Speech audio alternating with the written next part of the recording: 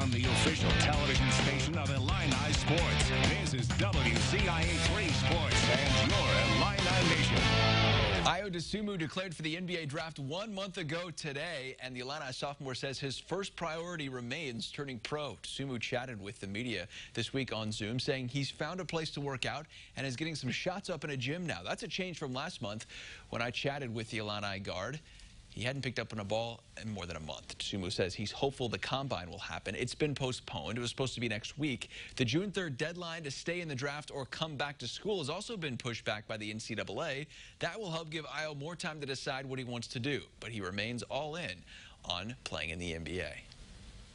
That's my goal at the end of the day is to play in the NBA and to work as hard as I can to be picked as high as possible but um, of course, I didn't shout at agent because there's so many uncertainties. But if everything goes the right way and um, everything get back on track, then um, of course I'll be um, staying in the draft and getting better and working out to be the best um, player I can be. Dosunmu is listed as the 55th pick in the CBS Sports mock draft and best players list. ESPN has him as the 80th best draft eligible player. There are only 60 selections in the NBA draft. Former